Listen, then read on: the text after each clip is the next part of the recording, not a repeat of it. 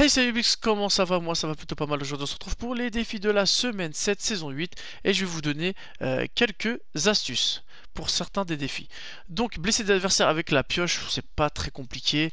Euh, si vous voulez un petit conseil, vous allez soit fouiller des coffres à Loot Lake ou Snowbusher, vous allez dans ces villes là, vous allez à côté d'un coffre où il y a quelqu'un, vous lui mettez des coups de pioche pendant qu'il prend le coffre, comme ça c'est très très rapide, vous êtes sûr qu'il y a du monde, donc euh, voilà, c'est pas plus compliqué que ça. Si vraiment vous n'y arrivez pas, vous allez en foire d'empoigne. Et puis voilà.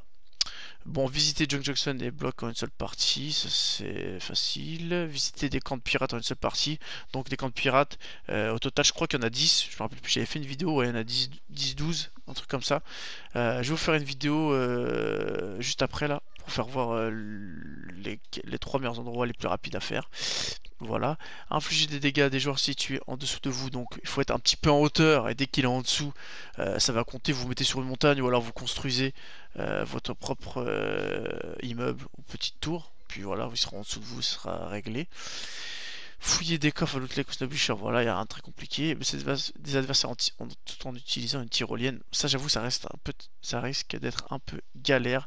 Donc moi, ce que je conseille, c'est d'aller en foire d'empoigne et puis euh, attendre qu'un mec il, prenne la tyrolienne quoi. Puis euh, voilà. Et euh, la deuxième étape ça sera justement de, de, de, tuer en utilisant une tyrolienne.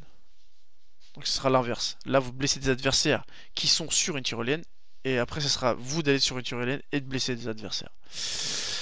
Donc voilà. Et ils mettent pas de nom de dégâts donc à partir du moment où vous mettez une balle ça devrait être validé et éliminer des adversaires à des lieux dits différents. Donc à chaque fois que euh, une ville a un nom bien précis et nommé, vous éliminez un, adversaire dans cette ville-là et euh, ça vous fera 1. Vous éliminez un, adversaire à bûcher, ça fera 1, un Tylot, ça fera 2, et ainsi de suite, ainsi de suite, ainsi de suite. Voilà.